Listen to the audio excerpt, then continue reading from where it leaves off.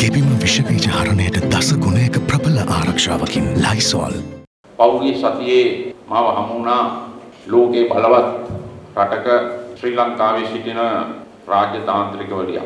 ඒ වගේම අන්තර්ජාතික මුල්‍ය අරමුද IMF මාව අවස්ථා දෙකකදී හම්බුණා මගේ නිවසට ඇවිල්ලා. ඒ වගේම පහුගිය දිනවල තානාපති රාශියක් මාව හම්බුණා ඇවිල්ලා මේ රටේ මේ දිවෙන තත්ත්වයේ ගොඩ ගන්න යම්කිසි එකඟතාවයක් ඇතුව එකමුතුවක් ඇතුව දූෂණයෙන් වංචාවෙන් තොරව වැඩ කරන පිරිසක් එකට එකතු වෙනවා නම් ලෝකේ බොහෝ රටවල් වල ආධාර අවශ්‍ය ණය මුදල් අපිට ලබා දෙනවායි කියන කාරණාව. නමුත් සර්වපාක්ෂික ආණ්ඩුවක් හැදීමට එකඟතාවයක් නැත්තේ විරුද්ධත්වයේ තියෙන්නේ ආණ්ඩු පක්ෂයේ විසින් කියන එක කනගාටුවෙන් උනත් කියන්නට ඕනේ. නමුත් අපි විශ්වාස කරනවා දැන් එන සතියේ ජාතික සභාවක් පිහිටවනවා පාර්ලිමේන්තුවේ. ඒකට മന്ത്രിවරුන්ගේ පූර්ණ කැමැත්ත හම්බෙයි. ඊට පස්සේ ජාතික සභාවට පුළුවන් නැවතත් ආණ්ඩුවට අවශ්‍ය උපදෙස් දීලා රට හරියට ක්‍රියාත්මක කරන්න අවශ්‍ය සහයෝගය දෙන්න. මේ වෙනකොට ලෝකේ ඉන්න වැඩියම හිඟා කන රට තමයි අපේ රට. ඒක තමයි යථාර්ථය. ඇත්ත කියන්න ලැජ්ජාවෙන් දෙපා. ඉස්සර එක කෑම වේලකට තෝරමාළු ගේනවා. මට වයසින් ඉඳ තෝරමාළු දුන්නේ. දිරවන්න ලේසියි කියලා. මං ටිකක් කෑම බිල අරගෙන බලලා මං කිව්වා ඊට පස්සේ මට අර ලින්න කියලා මාළුවෙක් ඉන්නේ. ලින්නෝ ගේන්න කියලා. තොරමාළු කන්න බෑ අපට දැන්. තමුන්නාසිලා ගෙවල් වල තුන් වේල කණයි අඩුවේ දැන්. ඒකන්ද මම පොදුවේ කියනවා මේ රට කෑවේ දේශපාලනඥයෝ. පෝට්ටුවේ කට්ටිය ඡන්ද දුන්නේ මොකටද? පහුගිය කාලේ. පෝට්ටුවේ ඡන්ද දීපු ජනතාව ඒක වැරද්දක් නෙවෙයි. මහින්ද රාජපක්ෂ සහ ගෝඨාභය රාජපක්ෂ දිනවන්න වගේම රනිල් පරද්දා එක්සත් ජාතික පක්ෂයට විරුද්ධව රනිල් වික්‍රමසිංහ මහත්තයා හොඳ නැහැ කියලා පෝට්ටුවට ඡන්ද දීපු කාටවත් දැන් පෝට්ටු වෙන්න අයිතියක් නැහැ. අයින් වෙන්න ඕනේ. නිසා අපි හැමෝටම කියන්නේ දැන් තවදුරටත් අපිට ගම්වල බෙදිලා ඉන්න අයිතියක් නැහැ.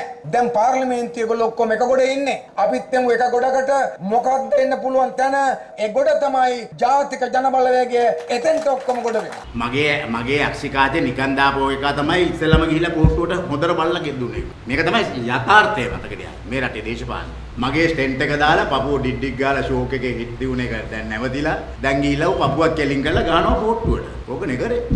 කන් ඇහෙන්නේ නැති එකාට ඉයරින් එක නිකන් දුන්න තල්ලි වලට ගෙනාපු එකාට ඌ හොඳට කන ඒකෙන් මහගෙන ඇදලා ගියා අනිත් පැත්තට. දේශපාලඥයෝ වරදින්න ඉස්සෙල්ලා ඔය කතිර ගහන මිනිස්සු හරි ගස්ස ගන්නකෝ. එතකොට දේශපාලඥයෝ නිකන්ම හරියනවා.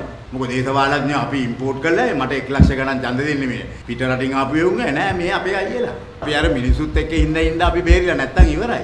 කන්නංකර මහත්තයා බරද්දල්ම දැම්මා. මමත් හිතුවා ගියසරේ මටත් ඒ ඒ ආනිසංසෙම දෙයි කියලා. අපේ දිස්ත්‍රික්කයනේ. මිනිසුන්ගේ අසහනය ඉඳකින්වත් අඩු වෙලා නැහැ. ඒ වෙලාවට වෙච්ච බරපතල මහජන අරගලය තුල විරුද්ධ පක්ෂය බලය ලබා ගත්තා නම් අද ඔය අත්අඩංගුවටපත් වෙන අරගලකාරයෝ වීරවරයෝ වෙන්න තිබුණා. දැන් කෙසේ නමුත් පාර්ලිමේන්තුවේ බලය පාවිච්චි කරලා පොහොට්ටුව රාජපක්ෂවරු නැවත බලය අල්ලන්න යන ඒක ඒගොල්ලන් කරගන්න යන බරපතල වරදක්. ඔවුන් දැන් දේශපාලනයෙන් සමුගෙන යා යුතු මොහොත පොහොට්ටුව නෙවෙයි රාජපක්ෂවරු පොහොට්ටුව තමන් කළ වැරදි දැකලා ප්‍රතිසංවිධානය විය යුතු මොහොත ඒ දෙකම කරන්නේ නැති අය අනාගතයේ දේශපාලන වශයෙන් අතු ගෑවිලා යයි. කැලෑ නීතිය රජ කරන රටක ආර්ථික ස්ථාවරභාවයක් ඇති වෙන්නේ නැහැ. හිතුණු හිතුණු තැන්වල හිතුණු හිතුණු විදියට නීතිය අතට ගත්තා. නිවාස ගිනි තිබ්බා. ප්‍රශ්න වලට විසඳුම මේක නෙවෙයි කියලා අපි අවබෝධ කරගන්න ඕනේ. මම දැක ලෝක බැංකුව ජාත්‍යන්තර මූල්‍ය අදමුද පුන පුනා කියනවා.